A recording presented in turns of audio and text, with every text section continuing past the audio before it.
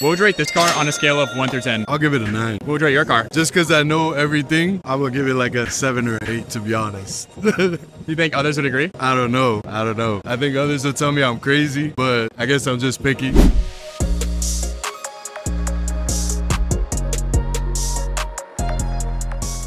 What would you rate this car on a scale of 1 through 10? I'll give that a 7.7. What would you rate your car? 9.5. It doesn't have a 2JZ yet. It doesn't have a 2JZ yet. What is this, the STI motor? Yeah, yeah. Built uh, an IAG Stage 2 block on it. Nice, nice. Do you think others would agree with your rating? Close to it. Similar.